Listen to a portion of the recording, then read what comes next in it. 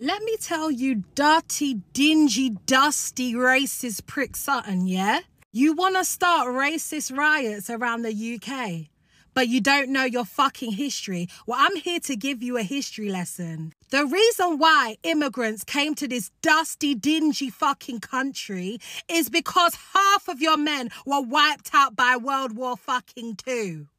They didn't do it because they wanted equality. They didn't do it because they wanted diversity. They wanted black people to come over to this country and rebuild it again. And you want to know the real reason why you won World War II? It's because India, yeah? India sent around 1.2 million Indians to come and fight the fucking fight because they were part of the Commonwealth, you understand? So if you knew your fucking history, you wouldn't be going after immigrants so fucking hard. America didn't save your ass, Clark. It was India, yeah?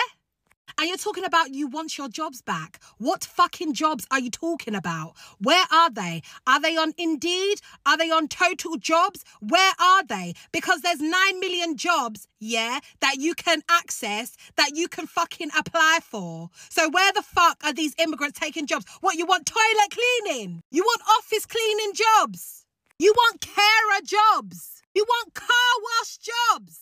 You want nail salon jobs? You want barbershop jobs. That's what you're angry about. The reason why you don't have those fucking jobs is because you don't have the skill set. You don't add to anything. You are laborers. That is what your history is known for. You are factory workers. You are miners.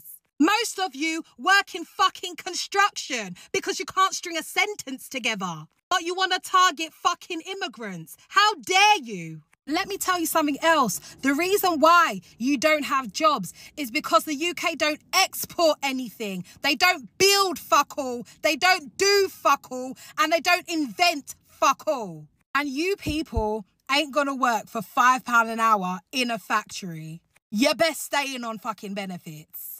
So instead of being angry at the immigrants trying to make an honest fucking living, I suggest you look towards the houses of parliament because those are the people who put you in poverty.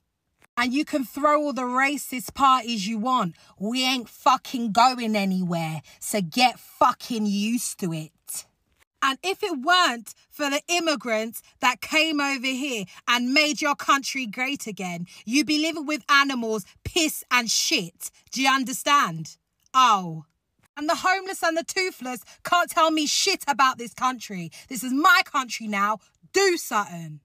And I'm not talking about all white people, I'm talking about racist white people. And if you feel offended by this video, then it's you me a talk to.